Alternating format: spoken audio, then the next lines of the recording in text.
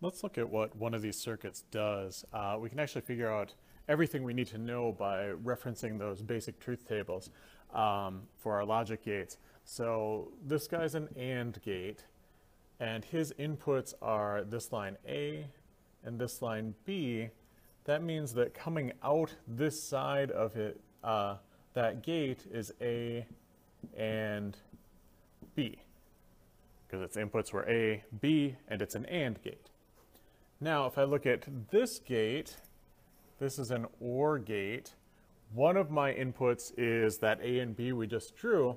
My other input here is B. So what this gate does, switch colors again here. So on this line, I have, first input was A and B. It's an OR gate, so OR. My second input was B, so B. So this green line here is A and B or B. Now, this last gate is a NOT gate or an inverter. So it's just going to flip the value of what's going into it. Well, the thing going into it is A and B or B, sorry, or B and so this gate is just going to take the negation of that, not that.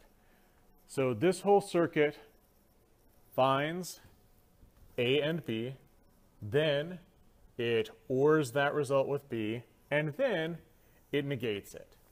It takes the opposite of that. It inverts those zeros to ones and ones to zeros. So we can fill out the truth table for this, and it works the same way that our truth tables did before. So to figure this out, and notice here under my output, I have my entire statement, right? I totally missed there. Uh, so under A and B is where I'm going to start because it's the first thing I would do. Well, 0 and 0 is 0. 0 and 1 is 0. 1 and 0 is 0. And 1 and 1 is 1. Okay, referencing my basic logic gate truth tables or remembering that and is only true when both are true. So true and true, one and one is one, everything else is zero. Now I'm going to go to this OR. So I'm going to take the OR of that thing we just did and B. So 0 or 0 is 0. 0 or 1 is 1. 0 or 0 is 0. And 1 or 1 is 1. Okay, so that's my output that far.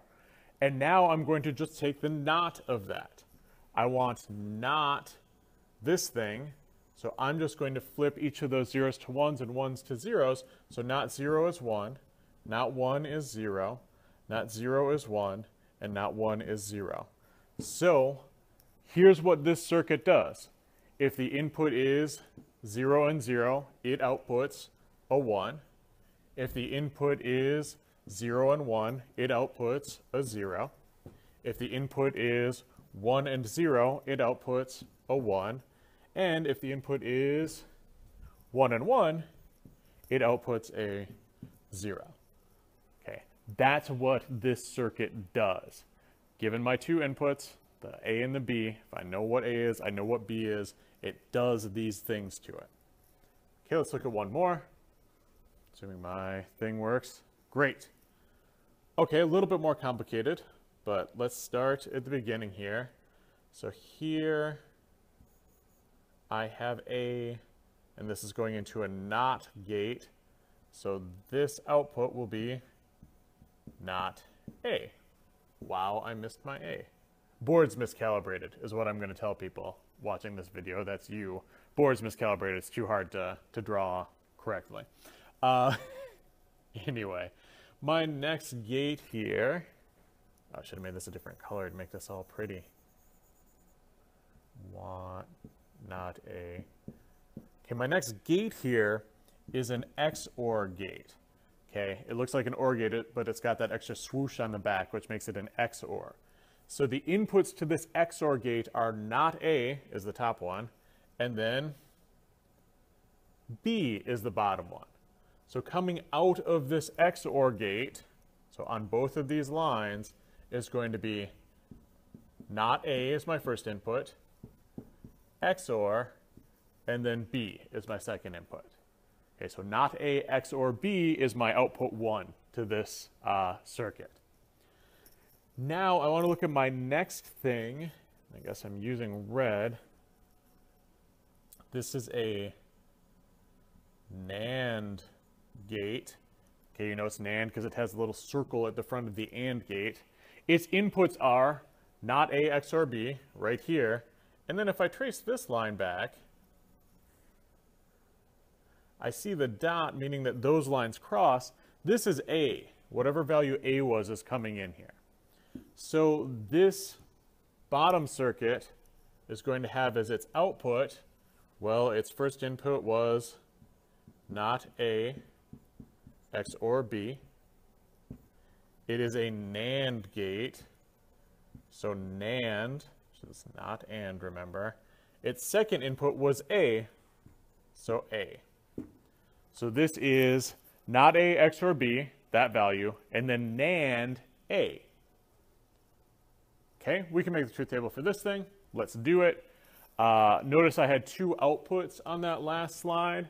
So my top output was not A, XOR B. So I'm going to figure out not A, XOR B. And then my other input, go back, thank you, was not A, XOR B, NAND A, not A, XOR B, NAND A.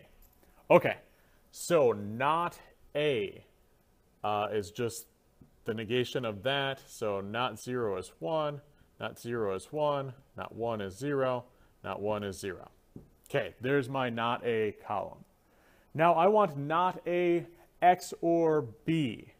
So XOR is true when one is true or the other, but not both. So I want to look at this not A column, this B column. I'm looking for when exactly one of them is true, it's true, otherwise it's false. So I have one or zero, one of those is true, so one. One or one, no, that's not, not only one of them. Zero or zero, so that's not only one of them. And zero or one, that is one of them. Okay, so one there. Uh, so 0, 1, 1, sorry, 1, 0, 0, 1.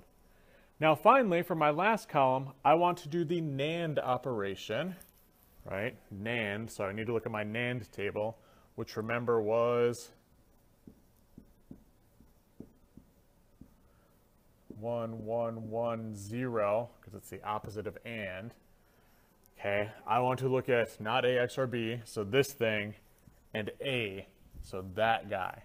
So I want one NAND zero, one NAND zero, one, there's one, great. I want to look at zero NAND zero, zero NAND zero is one, so one. I want to look at zero NAND one, zero NAND one is one, so one. Now I want to look at one NAND one, one and one is zero, so zero.